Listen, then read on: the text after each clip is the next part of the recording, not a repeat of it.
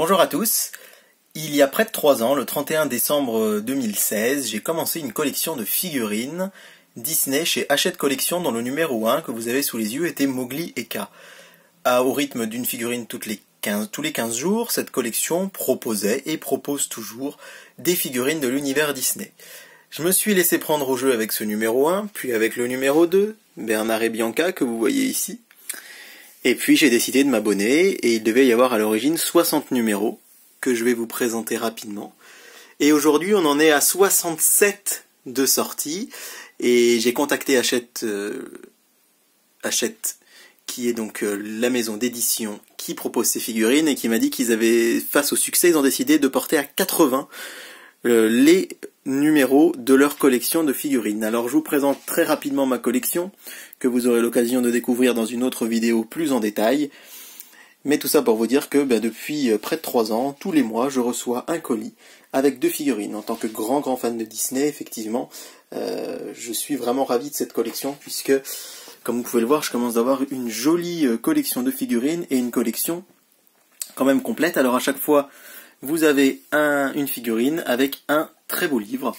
Et aujourd'hui, on est là ensemble pour découvrir les derniers numéros que j'ai reçus, en tout cas l'un des deux derniers, puisque vous découvrirez dans quelques jours le dernier que j'ai reçu. Et aujourd'hui, on va passer donc au numéro 66 de cette collection. Il s'agit d'un film Disney Pixar sorti euh, il y a deux Noëls, je crois déjà, oui, c'était à Noël 2017. Il s'agit de Coco et on va découvrir ensemble l'unboxing de cette figurine. Donc, on va commencer par le livre pour que vous découvriez bien en fait euh, en quoi consiste cette collection en plus des figurines. Moi, j'aime beaucoup le fait qu'il y ait un livre et que ce soit vraiment un beau livre qui retrace, si vous le voulez, un petit peu euh, découvrir avec moi, qui retrace eh bien la jeunesse du film, les secrets, comment ce film a été pensé, comment ce film a été écrit, comment ce film a été réalisé. Et c'est un véritable euh, petit objet d'art ce livre puisque c'est une sorte de mini artbook où vous découvrez comme ici euh, la création du personnage de Miguel pour ce film Coco, comment il a été pensé, imaginé, créé.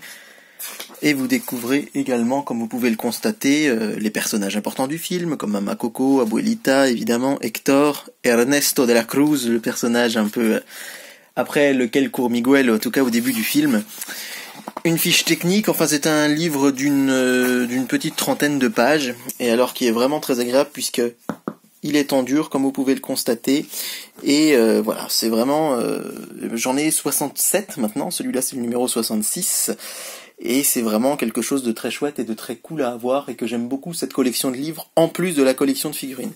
Donc chaque figurine et livre sont vendus au prix de 16,99€, donc c'est vrai que c'est un coût, c'est un budget c'est un budget, hein, ça fait une, bonne trentaine d'euros tous les mois. Donc euh, je suis très heureux de ma collection, je vous cache pas que j'espère qu'elle ira pas au-delà des 80 numéros parce que franchement euh, voilà, c'est faut avoir la place et puis on a quand même la plupart des personnages principaux.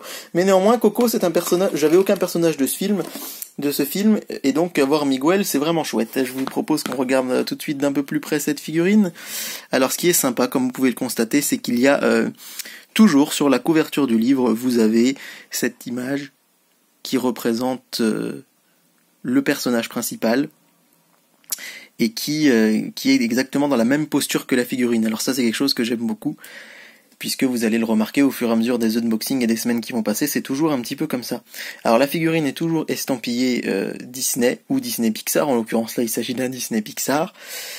Et vous remarquerez aussi qu'ils sont pas toujours les meilleurs sur les visages, sur les personnages humains souvent les animaux ou les, personnages un peu différents euh, sont plus réussis que les humains. Mais là, j'avoue que cette figurine de Coco, moi, je sais pas vous, mais je la trouve quand même, euh, quand même bien réussie, quand même très sympa. On peut voir les petits détails des chaussures, du jean, de la guitare, et donc notre Miguel est quand même bien, euh, est quand même bien représenté. Parfois, il peut arriver qu'il y ait des petites erreurs, des petits soucis de, de peinture. Là, ça n'a pas l'air d'être le cas. Euh, voilà, 16,99, c'est vrai que c'est cher, c'est pas donné, mais euh, si vous allez à Disneyland ou si vous achetez d'autres types de figurines Disney, vous en trouvez jamais à ce prix-là. Donc ça reste un prix quand même relativement honnête. Hein. Euh, pour une collection, encore une fois, que j'aime beaucoup, et puis ça fait partie de ces collections qui ont beaucoup de charme quand on en a beaucoup de numéros.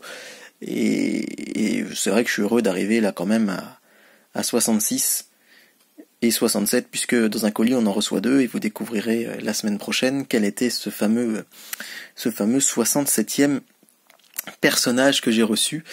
Et voilà, je suis très heureux, j'espère que ça vous plaira de découvrir un petit peu ces figurines, de les découvrir peut-être un peu plus en détail dans de prochaines vidéos. J'aimerais vous faire une vidéo complète où je vous présente tous les numéros, puisque je les ai tous, les, les, les, 67, ils sont tous plutôt en bon état, j'ai juste malheureusement Pinocchio, alors vous allez dire c'est bête, mais Pinocchio que j'ai échappé un jour, et ça a cassé son nez. Donc Pinocchio sans nez, c'est un peu... Euh, voilà, la Joconde sans sourire, on va dire.